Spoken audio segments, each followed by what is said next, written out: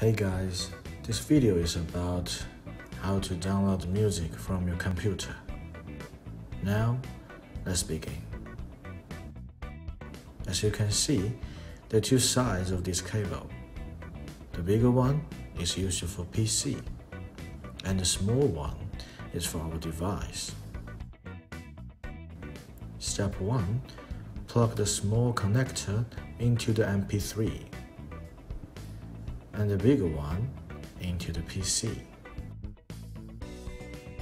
On your desktop, it will pump out a disk named Untitled. Then open the folder that you store your music. Now you just need to drag the songs to your player. Finally, the music is in your MP3. It's easy.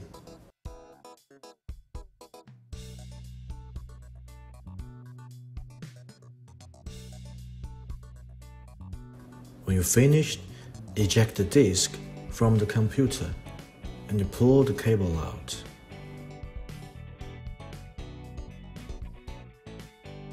Go to the music module on the MP3. Select Create Playlist. It will update the information. Now every song is alphabetically arranged. Enjoy your music now.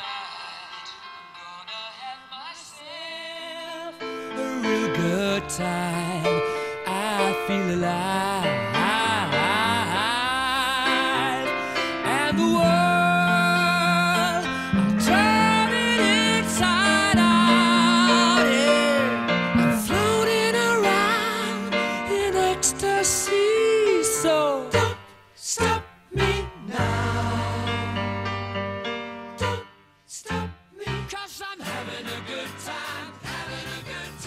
If you have any questions, please do not hesitate to contact us.